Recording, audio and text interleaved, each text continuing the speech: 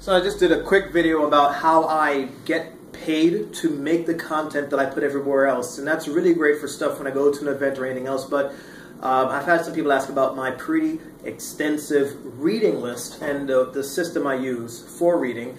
And um, the numbers probably sound a little bit impossible when I say I read you know, several hundred articles in a week and write about them. People don't necessarily know how to take that. So here's the system I use.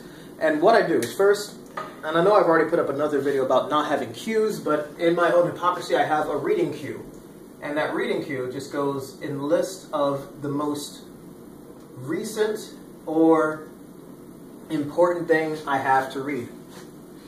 Bring it up, and I'll scan that article by its headline and its main key points so I get a basic gist of it.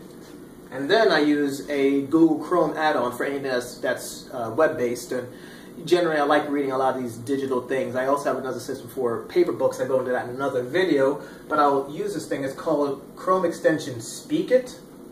I highlight the entire page, the entire article, PDF, whatever, and I listen to that, and I listen to it in 7x speed. Now, I've already scanned the article. That takes about maybe a minute for a five minute to actually read article and I have a good idea of it. And while I listen to it, I open up another document.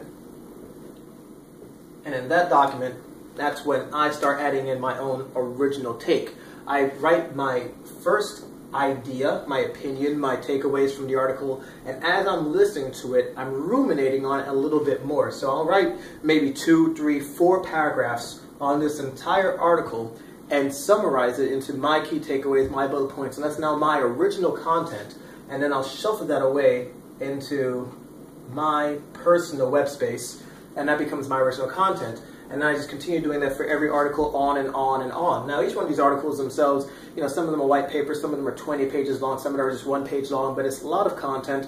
Forrester, Gartner Magic Quadrants, um, you know, blog articles, uh, summaries of other books, and some entire ebooks. And for all of them, chapter by chapter, page by page, I'll continue this process until I've gone through a large amount of content. I wouldn't know how to how to qualify to quantify the amount of words or books, but I might do that one day. And I create several of my own original posts on top of that. And that's where I go into content creation.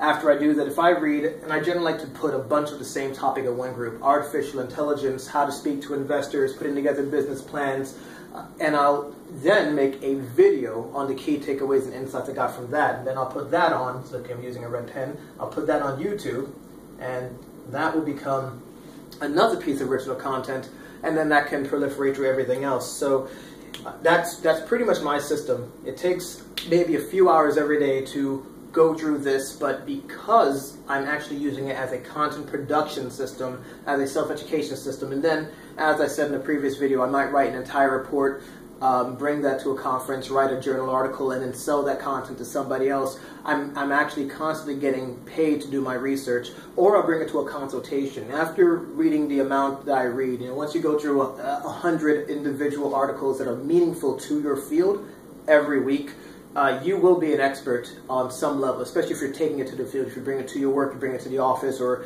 or however you actually do your work. You will be a self-made expert in, you know, come on to a few years of doing this, and I've been doing this for a while now. And that's, that's my content digestion and creation system all in one little workflow. Make a quick list, a queue, skim it, audio book it, write about it as you're listening to it so it ruminates so it becomes permanent knowledge, create content, disseminate it, and then continue ad infinitum. So I hope that helps somebody to get a lot more knowledge in, get a lot more education in, and, and find a way to clear up that gigantic list of um, bookmarks and to-dos that they have on their own desk.